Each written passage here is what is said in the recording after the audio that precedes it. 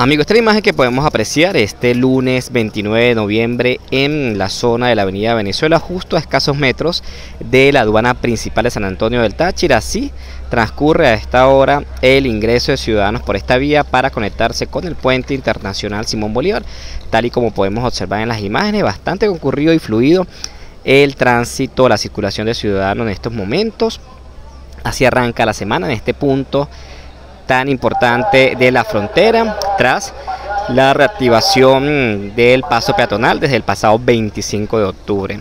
Hoy, día impar, 29 de noviembre, por tanto, ingresan a Colombia ciudadanos cuya cédula venezolana sea impar 1, 3, 5, 7 y 9, terminal de cédula impar. Reporto para la Nación, Jonathan Maldonado.